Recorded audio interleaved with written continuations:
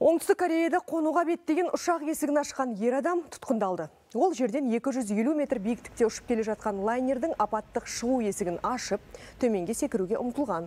Оқиға кезінде ешкім зардап шеккен жоқ, бортта болған 194 жолаушы дінаман. Дегенмен олардың кейбіреуі ашық есікті көріп, есінен талып қалса, өзгелердің тыныс алуы қиындаған. Кейін олар ауруханаға жеткізілді, ал 30 жастағы ер адам неліктен осындай қадамға барғаны белгісіз. Полиция мәселенің мән жайын анықтап, айыптыны жазаға тартпақ.